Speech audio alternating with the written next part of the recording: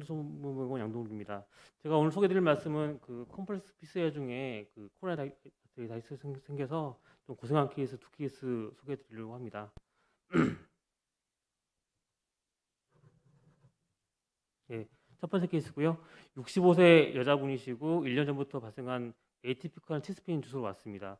환자분은 타병원에서 검진하고 오셨는데 cardiac CT에서 어, left circumflex에 그 lesion이 있었고요. 어, history로는 환자분이 여성 호르몬 제제를 복용 중이었다고 합니다.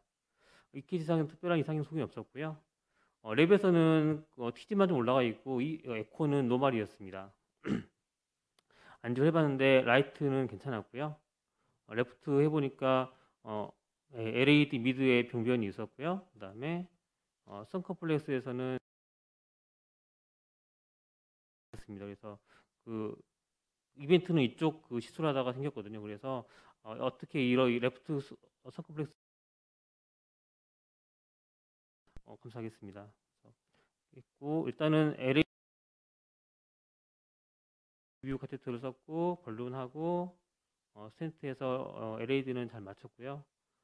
그래서 선컴플렉스를 시술하는데 어, balloon하고 나서 보니까 그 proximal 쪽에 dissection이 좀 생겨서 이거를 이제 long lesion이고 어, 어, 정확하게 그 dissection을 그 lesion을 커버해야겠다 생각해서 2.75에 48mm long 스텐트를 넣었습니다. 그래서 스텐트를 해- 하고 어, 했는데 어, 하고 나서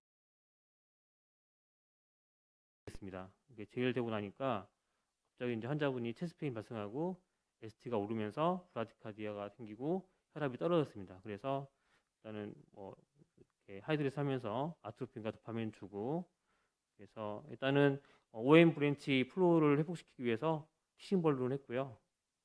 수차례 이렇게 balloon을 했는데도 OM branch의 flow가 회복되지 않았습니다.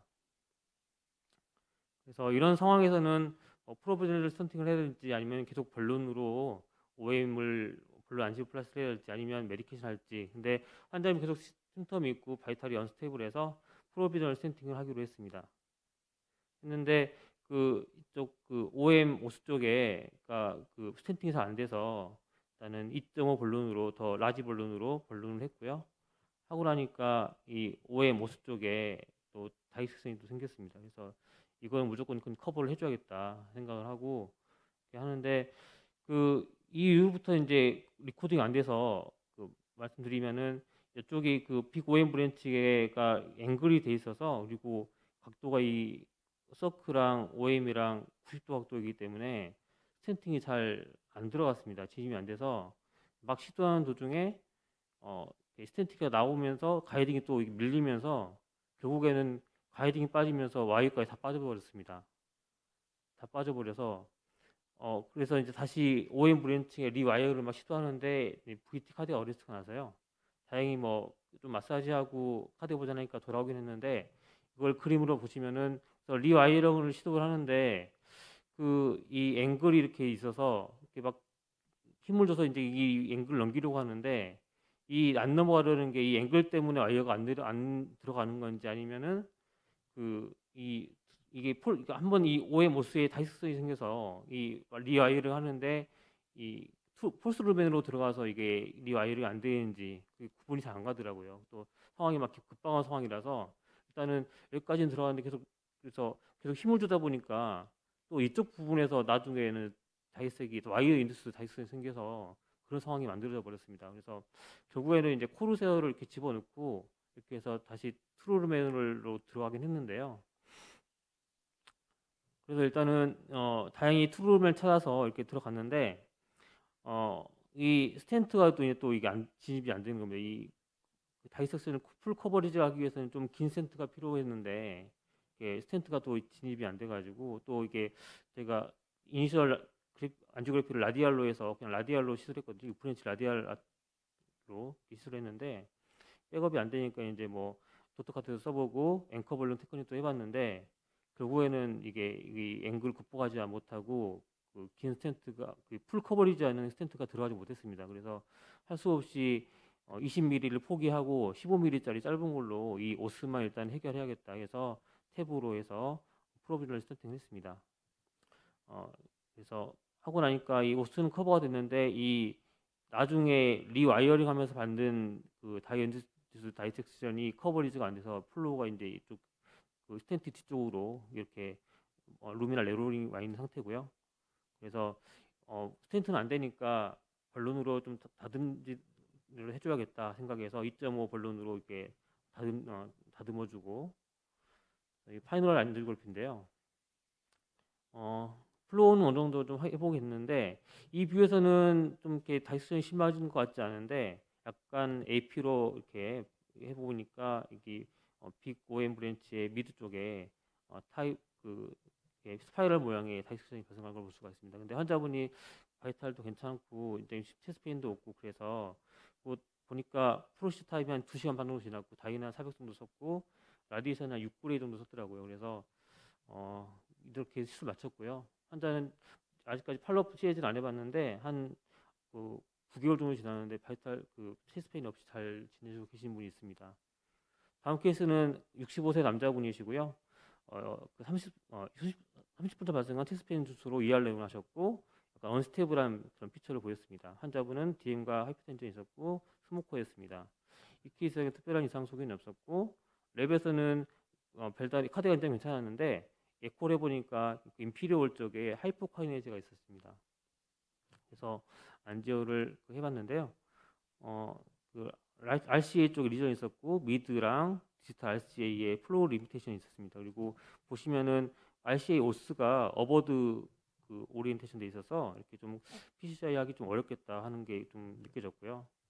보시면은 칼시피케이션도 동반한 이렇게 이런 어, 병변이었고요.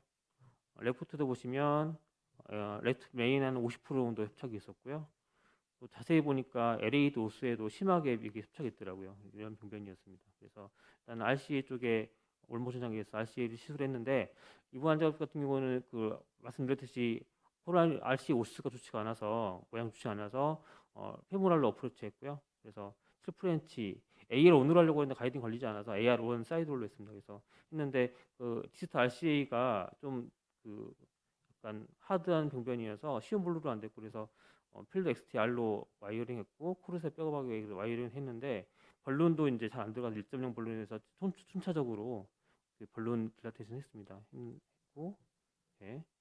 음, 했는데 이게 이제 2.5 올건 하다 보니까 또 이게 이쪽에 이 RC distal RCA 쪽에 dissection이 발생을 했고 커버를 해줘야겠다 했는데 어, 커버하려고 이제 2.5에 26mm의 그 어, 스텐트를 넣으려고 하는데 어, 여전히 그러니까 똑같이 이제 백업이 안 되니까 똑같아서 넣고 이렇게 했는데 이 mid 부분에서 계속 이게 안 넘어가더라고요 스텐트가.